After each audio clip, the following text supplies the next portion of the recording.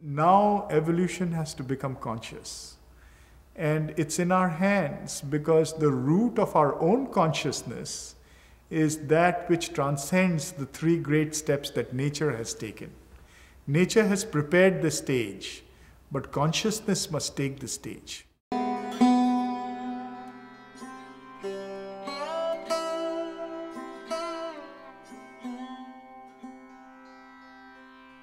Confluence of, on the one hand, spirituality, politics, and um, you know culture that the Bengal Renaissance is that really comes together in Sri Aurobindo.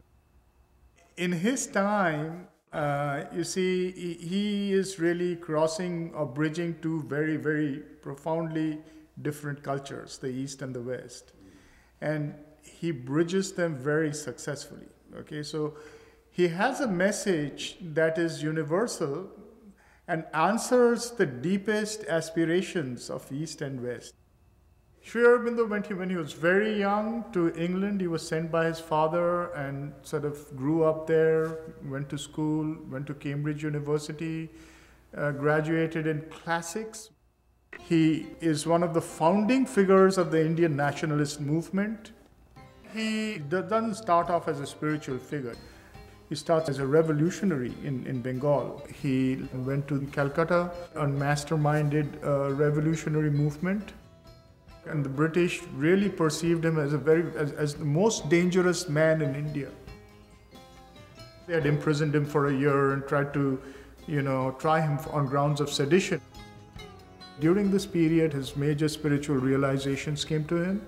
Yet it had already started during the freedom struggle. So he comes to yoga seeking power, which is a very unyogic way to approach yoga. Sri Aurobindo says, I want, I want power to save this nation.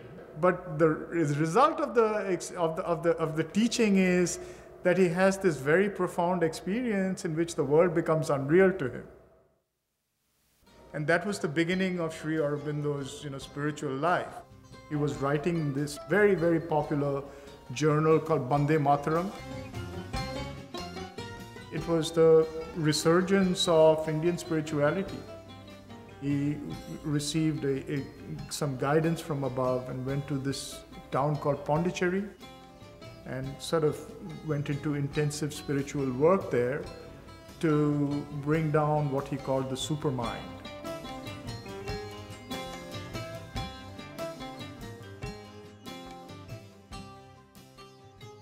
And then he was joined by the mother, who was a French lady, and she represented a very, very significant aspect of his yoga. She has the kind of spiritual capacity and power that makes it possible for anybody and everybody to receive it. He said, if it were left to me, maybe I could have given this yoga to a hundred people, no more. But the whole world can get it from the mother is there something that can integrate these in, in us? And Sri Aurobindo says, yes. The answer is the psychic being. It is the integrator within, mind, vital, and physical. Each one of them, as I was saying, is, is a separate kind of consciousness. And there is a separate being to each of these kinds of consciousness in each of us. And depending on what is predominant in you, is that that is your central being. So that can become the leader of the march, the first primary leader of the march. Okay? You can either find karma yoga to be that which attracts you most. You can find bhakti yoga to be that which attracts you most. Jnana yoga or whatever, one any one of these. But as you follow it, you find that you, through that particular path, are integrating with the other yogas and also bringing the psychic more and more to the front.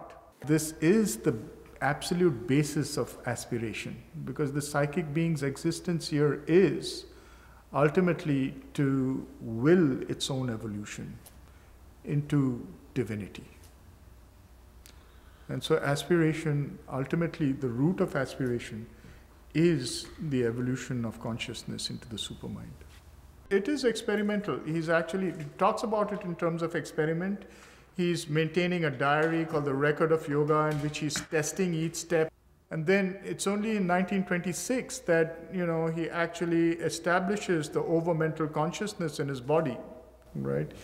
You know the, what he calls the overmental consciousness. And then uh, that point he retires because of the urgency and he wanted to seclude himself or isolate himself to just bring down the supermind. Here are two human beings who are trying to change the universe and believe they can. They have the key to it, and it is a certain consciousness that they have to realize and bring into their own bodies. It is probably the grandest sort of uh, hubris that can ever be dreamed of by humanity. That's what makes it avataric. He thought of the supramental descent and manifestation as the solution that will ultimately be able to cause humanity to take the next leap. So, my sense of it is that that is happening and that that is taking its own, own turns and its own steps. And that whether we like it or not, the world is in the orbit of a world yoga right now. Now evolution has to become conscious. And it's in our hands because the root of our own consciousness is that which transcends the three great steps that nature has taken. Nature has prepared the stage, but consciousness must take the stage. Pure consciousness has to take the leap, and it's within our means to do it.